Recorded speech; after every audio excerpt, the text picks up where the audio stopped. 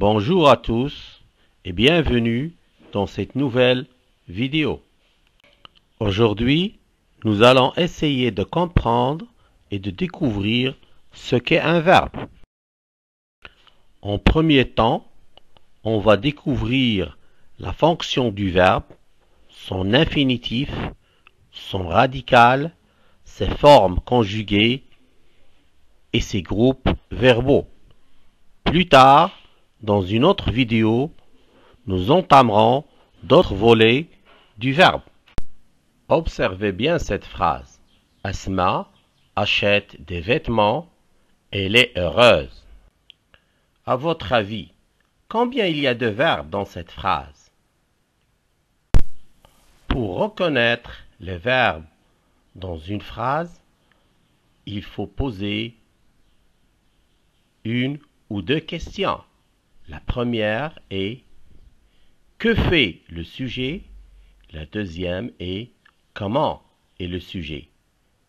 Dans notre phrase, Asma achète des vêtements, elle est heureuse.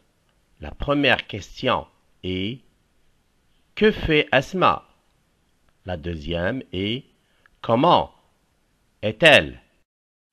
Comme vous le constatez, que ces deux questions se demandent que fait le sujet et comment est le sujet. Réponse à notre première question que fait Asma? Donc, Asma achète. Réponse à la deuxième question comment est-elle? Elle est heureuse. Par conséquent, les verbes de cette phrase sont achète et est. De cela, on déduit que le verbe acheter est un verbe qui exprime l'action que fait Asma. Alors, que le deuxième verbe et être nous montre l'état où est Asma. Définissons maintenant le mot verbe. Donc, le verbe est un mot qui indique ce que fait où, comment est le sujet. Généralement, les verbes expriment une action qui est réalisée par le sujet ou bien subie par ce sujet ou il désigne un état. Comme vous le constatez aussi, on classe les verbes en deux catégories, les verbes d'action et les verbes d'état. Alors, les verbes d'action sont des verbes qui expriment une action faite ou subie par le sujet. Les verbes d'état sont des verbes qui nous donnent tout simplement l'état où est le sujet. Voyons maintenant les formes du verbe. Le verbe a deux formes. Il a la forme infinitif et la forme conjuguée. Mais ce qui nous intéresse aujourd'hui, c'est la forme infinitive. Alors, c'est quoi la forme infinitive du verbe ou tout simplement l'infinitif d'un verbe? Par définition, l'infinitif est la forme du verbe qui ne porte pas la marque de personne, de nombre et de temps. Alors que la forme conjuguée est obtenue en conjuguant le verbe et en lui ajoutant sa terminaison au radical.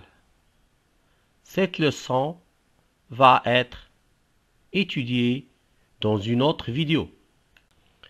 Revenons maintenant à la forme infinitive. La forme infinitive est reconnue par sa terminaison ER, IR, WAR, RE. Pour bien comprendre, faisons cet exercice. Prenons ces trois phrases. Les enfants jouent dans la cour. Rico partira en Italie. Il finit son travail. Dans cet exercice, nous devons d'abord chercher la forme conjuguée du verbe, puis trouver sa forme infinitive, c'est-à-dire l'infinitif du verbe, Ensuite, trouver son radical, le radical de chaque verbe. Après, trouver les groupes verbaux des verbes. Étudions maintenant la première phrase. Les enfants jouent dans la cour. Posons la question. Que font les enfants? La réponse est joue. Alors, joue est le verbe. On dit que joue, c'est la forme conjuguée de ce verbe. Cherchons maintenant la forme infinitive ou bien l'infinitif de ce verbe. Comme vous le voyez, l'infinitif de ce verbe est le verbe jouer. On trouve la marque de l'infinitif à la fin de ce verbe qui est ER. ER est la marque de l'infinitif. Alors que joue J-O-U, on dit que c'est le radical du verbe. Passons maintenant à la deuxième phrase. Rico partira en Italie. Alors, si on pose la question, que va faire Rico La réponse est partira. Donc, partira est le verbe. C'est une forme conjuguée du verbe. Cherchons maintenant la forme infinitive. Bien sûr, la forme infinitive, c'est le verbe partir.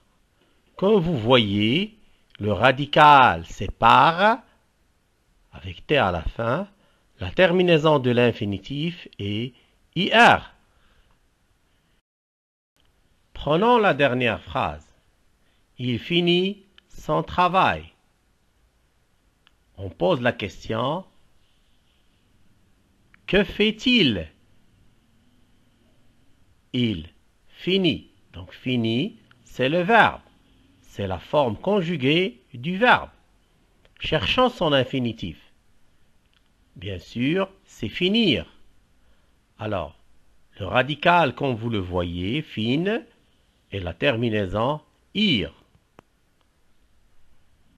Comme vous le constatez, la terminaison des verbes à l'infinitif n'est pas toujours la même et c'est cette terminaison-là qui précise ou qui donne la catégorie à laquelle il appartient le verbe. Enfin, les groupes verbaux sont de trois catégories les verbes du premier groupe qui se terminent par ER, les verbes de deuxième groupe qui se terminent par IR, et les verbes de troisième groupe appelés les verbes irréguliers et qui se terminent en général par WAR et RE. Je tiens à préciser que les verbes de troisième groupe sont des verbes particuliers et on trouve d'autres verbes à l'infinitif qui ne se terminent pas par war ou par re. On va essayer de les aborder dans une autre vidéo. On n'oublie pas les verbes d'état qui sont huit être, devenir, paraître, sembler, demeurer, rester, avoir l'air, passer pour. Ce cours vient d'être terminé. Merci pour votre patience. Moga Students, cours facile, vous souhaite une bonne journée. À bientôt.